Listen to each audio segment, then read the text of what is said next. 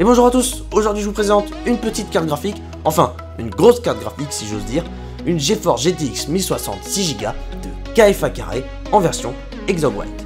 Avant d'en dire plus dans cette vidéo, on va briser un mythe, un mythe qui dit que les cartes graphiques Founder Edition sont plus puissantes que les cartes graphiques d'un tiers. Alors qu'est-ce qu'une carte graphique Founder Edition? Vous savez, c'est les belles cartes graphiques tout en aluminium avec le GeForce GTX qui s'illumine en vert et qui sont vendues par Nvidia. Les cartes graphiques d'un tiers, qu'est-ce que c'est? C'est les cartes graphiques de MSI, Asus, KFA carré et plein d'autres. Pourquoi les cartes graphiques d'un tiers sont plus puissantes? Tout simplement parce qu'elles sont overclockées d'usine, c'est-à-dire qu'on on booste leur performance au maximum avant même que vous les achetiez.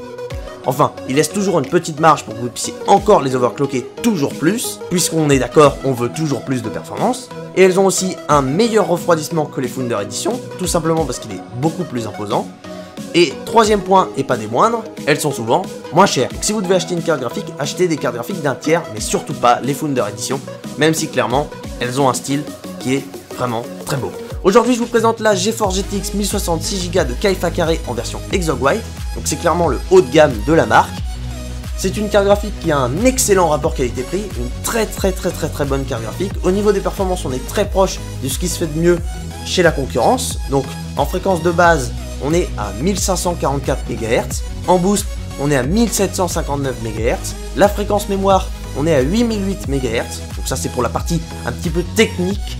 On a 1280 cœurs CUDA comme pour toutes les 1066 Go du marché. Au niveau de la VRAM, bien sûr, on est à 6 Go en GDDR5.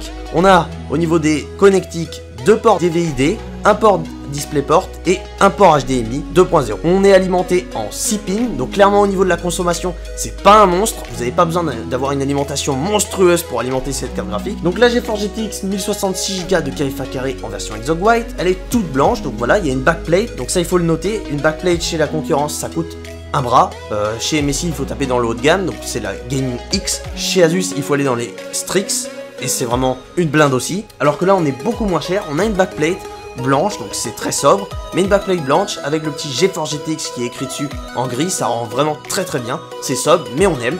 La carte graphique est toute blanche, on a un énorme radiateur qui couvre toute la surface et trois caléoducs qui conduisent la température de la puce vers cet énorme radiateur, deux ventilateurs de 90 mm rétroéclairés en blanc, dans une config blanche et noire, ça rend vraiment nickel.